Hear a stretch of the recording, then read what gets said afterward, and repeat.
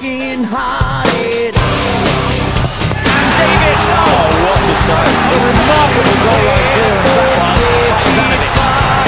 It's an excellent.